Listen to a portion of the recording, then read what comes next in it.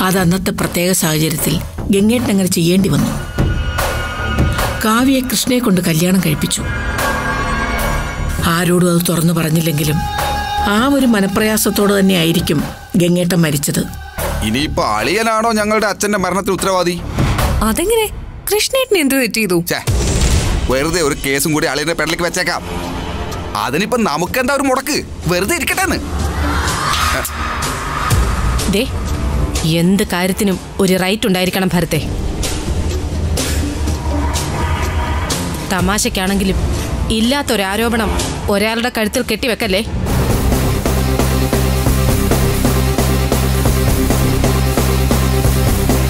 കൃഷ്ണയുടെ പേരിൽ നീ ഈ പറഞ്ഞ ആരോപണം വളരെ ഗൗരവമുള്ളതാ. അതുകൊണ്ട് ആ ഡി എൻ എ ടെസ്റ്റിന്റെ കാര്യവുമായിട്ട് ഭരത് മുന്നോട്ട് പോണം.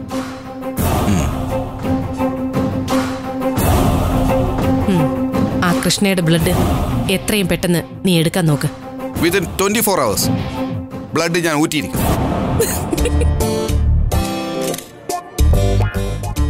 ഊറ്റാനെന്ത്? വല്ല മണ്ണെണ്ണ പെട്രോളോ ആണോ കൃഷ്ണയുടെ ബ്ലഡ് അമ്മ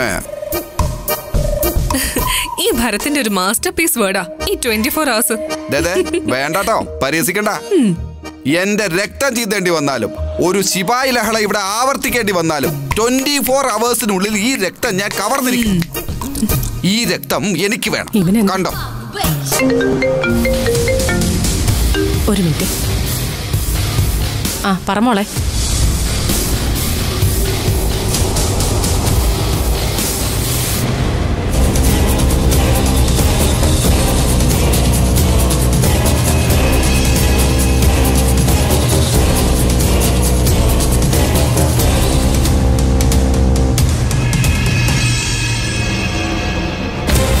ആ ഡി എൻ എ ടെസ്റ്റിൽ. മണിക്കുട്ടി കൃഷ്ണയുടെ മകളാണെന്ന് തെളിഞ്ഞാൽ പിന്നെ ഒരു നിമിഷം വൈകരുത്.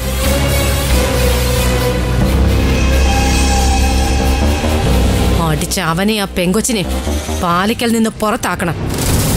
അത് തന്നെ വേണ്ടത്. എനിക്ക് ജയച്ചിയുടെ അടുത്ത് പേഴ്സണലായിട്ടൊരു കാര്യം സംസാരിക്കാനുണ്ട്.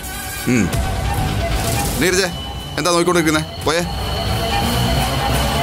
ഹലോ നീ എന്ത് കാണാൻ നിൽക്കുക നിന്നോടും കൂടാ പറഞ്ഞത് പോടാ. ശരിയാ. നീ പോയി ആ ബ്ലഡ് കളക്ട് ചെയ്യാൻ നോക്ക്. പിന്നെ ഇപ്പൊ എടുക്കും രക്തം. കൊതുകല്ലേ ഭരത് ദേ ഒരു അറ്റ അടി വെച്ച് കഴിഞ്ഞാൽ പല്ലിന്റെ ഇടക്കൂടെ ചോര നടക്കും കേട്ടാ? എന്ത് കാണാൻ നിൽക്കുവാ പൊടി. വിവരമില്ലെന്നേ. നടക്കണേ എന്തോന്ന് ചേച്ചി ആ ചിരിക്കും.